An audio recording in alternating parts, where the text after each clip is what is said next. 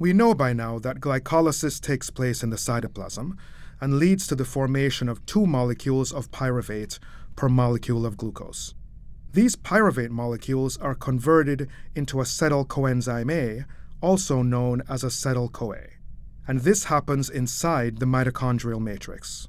Therefore, acetyl CoA is the key metabolic intermediate that links glycolysis and the citric acid cycle.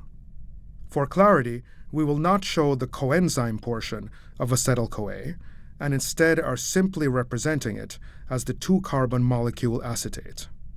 So, how does the pyruvate get into the mitochondrial matrix? This depends on a carrier protein that transports pyruvate into the mitochondrial matrix, where there it is oxidized to form acetyl CoA by the enzyme pyruvate dehydrogenase.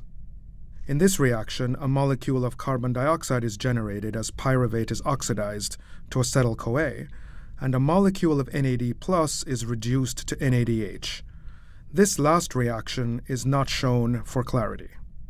The citric acid cycle consists of the following eight steps and also harvests chemical energy, producing a total of three NADH molecules.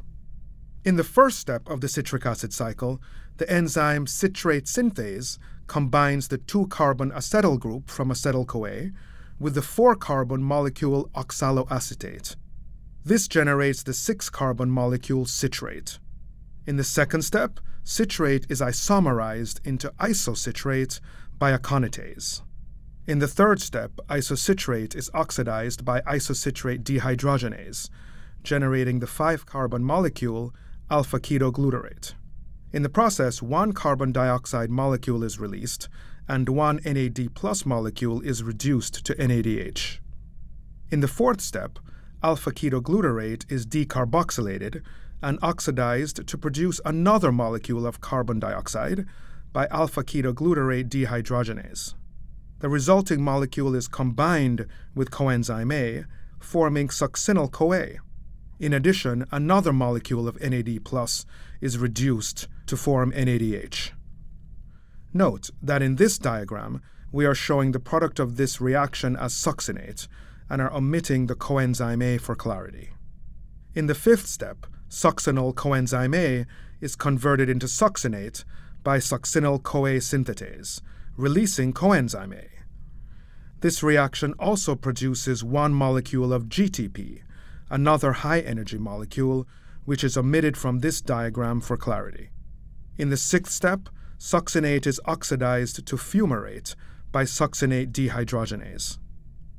Unlike all the other enzymes in the citric acid cycle, succinate dehydrogenase is embedded in the inner mitochondrial membrane and is also a component of the electron transport chain, in which it is also called complex 2. As complex 2 oxidizes succinate, it receives two electrons that it will ultimately pass on to coenzyme Q, which in turn will deliver its electrons to complex 3. Another interesting aspect of complex 2 is that it uses FAD rather than NAD plus to accept electrons.